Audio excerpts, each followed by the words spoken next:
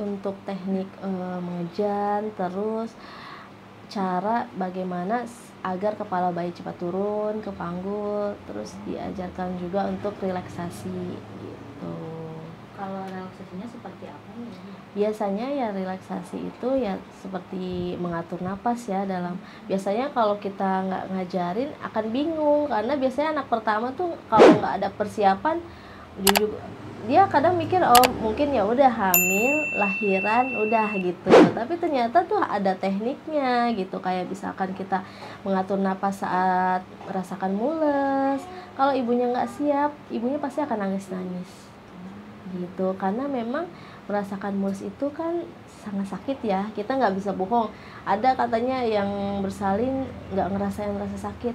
Dalam Al-Quran aja jelas-jelas e, kayak Siti Maryam itu kan ngerasain rasa sakit. Sampai dia bilang e, lebih baik saya meni, e, mati gitu kan. Karena memang sakit banget gitu. Mulai saat mau persalinan. Mm -mm.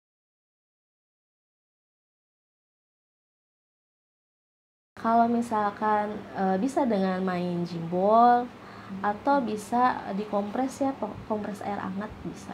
Itu saat mau persalinan di yeah. gitu? Mm. kalau untuk uh, jimbol atau olahraga lainnya itu kira-kira dilakukan di trimester berapa amannya? Amannya itu udah trimester ketiga.